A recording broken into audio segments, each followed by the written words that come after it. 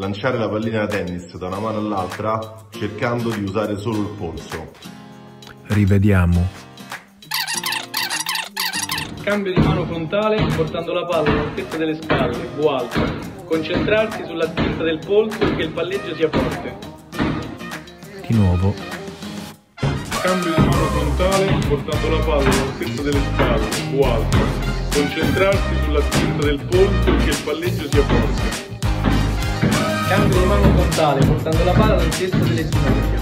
Concentrarsi sulla spinta del polso e il palleggio sia forte.